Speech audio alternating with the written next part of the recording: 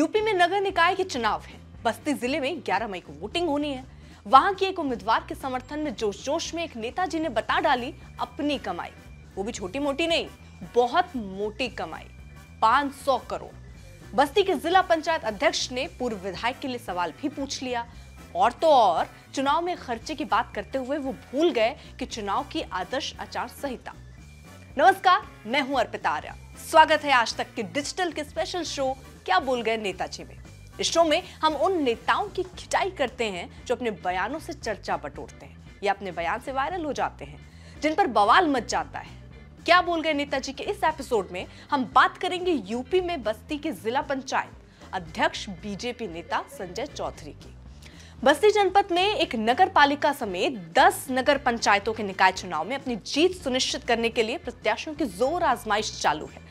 रुंधौली में भाजपा प्रत्याशी संगीता जायसवाल के पक्ष में जनता से रूबरू होने पहुँचे जिला पंचायत अध्यक्ष संजय चौधरी। एक जनसभा को संबोधित करते हुए उन्होंने संगीता जायसवाल के पति और पूर्व विधायक संजय जायसवाल का ज़िक्र छेड़ दिया। संजय चौधरी बोले, कौन कहता है संजय जायसवाल जी के पास पैसा नहीं है? वो दो बार यहाँ से विधायक रहे हैं। ओह, मैं क्यों आपको उनका बयान बोलूँ?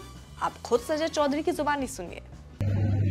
कहता है संजय जायसवाल जी के पास पैसा नहीं पाँच सौ करोड़ का काम हूँ पाँच सौ करोड़ का काम हूँ मैं जिला पंचायत अध्यक्ष हूँ संजय जायसवाल के पास पैसा नहीं जितना पैसा कहेंगे संजय जायसवाल जी छह करोड़ रुपए कहेंगे संजय जायसवाल जी इस मुरौली की जनता के लिए खर्च करने के लिए तैयार हूँ हूँ अरे अरे, ये क्या बोल गए नेताजी?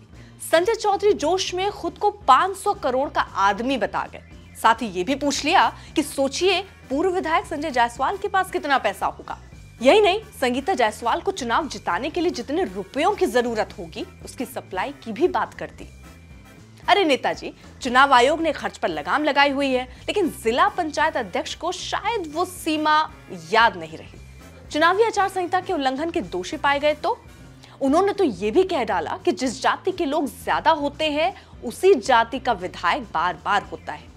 मतलब ये कि उनका भाषण आदर्श आचार संहिता का उल्लंघन करता रहा। वैसे संजय चौधरी पहले से बड़बोलेपन के लिए जाने जाते हैं। 2017 में विधानसभा टिकट न मिलने पर उन्होंने क्षेत्र के सांसद को खूब खरी खरी सुनाई थी। संजय चौधरी ने विरोध किया था, बागी तेवर अख्तियार किए थे, लेकिन शायद उनको मनाने के चक्कर में बीजेपी ने उन्हें प्रमोशन देकर जिला पंचायत अध्यक्ष बना दिया। अब गलत आचरण पर किसी को प्रमोशन मिले तो वो सुधरेगा या बिगड़ेगा, या आप ही बताइए। कैसा लगा आपको हमारा ये शो क्या बोल गए नेताजी?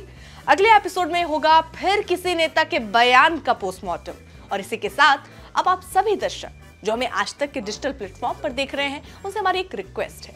इस शो के बारे में कमेंट ज़रूर करें और सब्सक्राइब करें हमारा चैनल आज तक।